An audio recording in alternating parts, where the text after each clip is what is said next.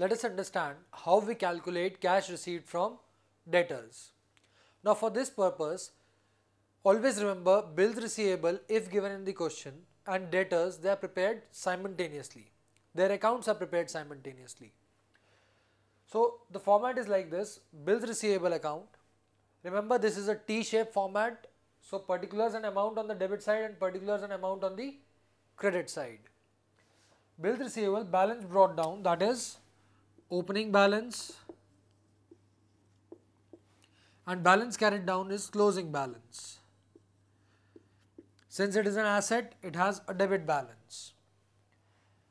On the credit side, what are the possible entries? The first one being cash. This is on account of amount received from bills receivables or the holders. Then by bank bill discounted. Whatever we have discounted their amount will appear on the credit side. Then by discount. Whatever is the discount on account of bill discounting appears on the credit side. Totaling it out subtracting the debit side what we'll have is to debtors that is fresh bills issued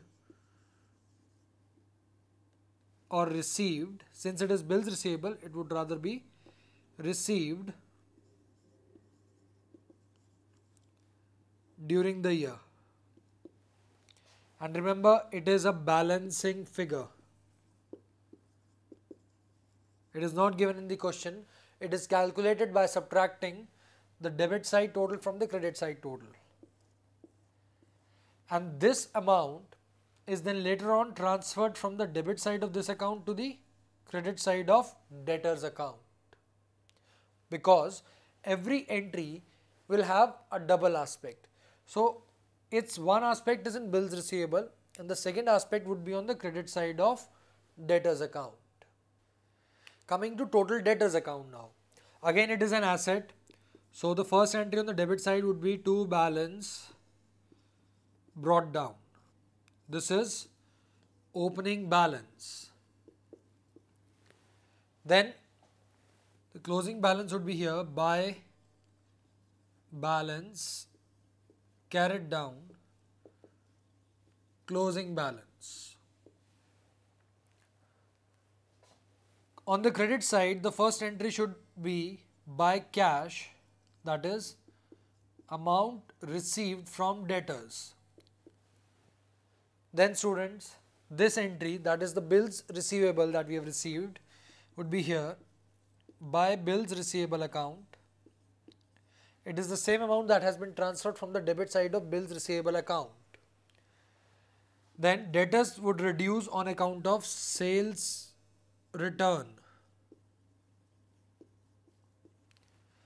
It would reduce on account of by discount allowed. then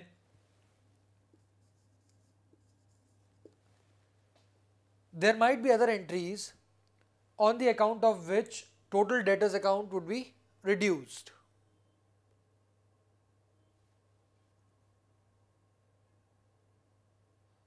Like bad debts. So bad debts would be written on the credit side.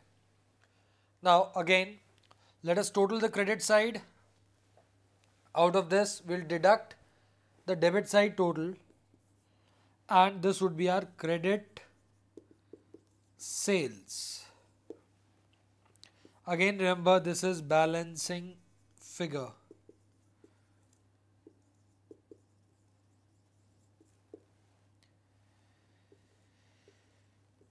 Now students, if we are given total sales, we will calculate credit sales from total debtors account deduct this credit sales from total sales we will get cash sales. There can be another aspect to this also. In case credit sales are given, we can calculate cash as the balancing figure. In this case, cash what represents the amount received would actually be the cash collected from debtors during this particular time period. So we can have balancing figure in terms of credit sales or the amount received which is cash.